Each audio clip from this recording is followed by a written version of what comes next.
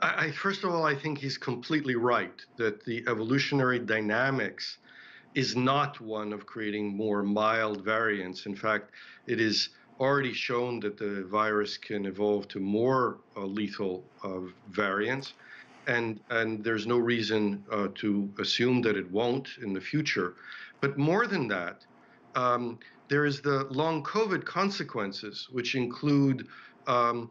both uh, debilitating symptoms, uh, but also organ damage that is causing death uh, uh through heart attacks and strokes and other effects that has already been demonstrated through studies. Um, and the, the major news over the last recent time, last few months, is, is a doubling from about 25 papers to about 50 papers about immune system harm. Uh, and what we've seen, of course, around the world is uh, uh,